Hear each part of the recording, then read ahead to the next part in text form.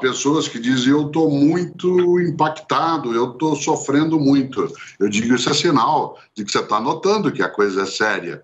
Ela é séria, mas ela não é imbatível. Por isso, inteligência emocional é quando você é capaz de enfrentar uma turbulência e dela consegue sair sem perder a condição, sem perder a razão, sem perder a esperança. Kant tem uma frase muito forte para a gente pensar. Ele dizia: mede-se a inteligência de um indivíduo pelo número de incertezas que ele é capaz de suportar. Suportar não é se render, é não sucumbir é tropeçar sem cair e ficar deitado em vez de levantar de novo. Por isso, uma pessoa é mais inteligente quanto mais ela percebe o que diziam os nossos avós: não há mal que sempre dure, nem bem que nunca se acabe, ou invertendo, não há bem que sempre dure, nem mal que nunca se acabe.